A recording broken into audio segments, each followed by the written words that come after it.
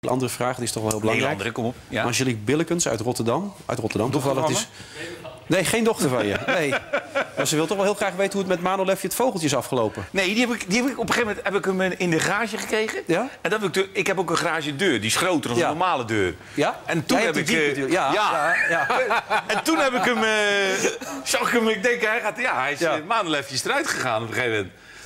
En hij was niet zo blind dat hij tegen een boom aanvloog. Nee, nee, nee.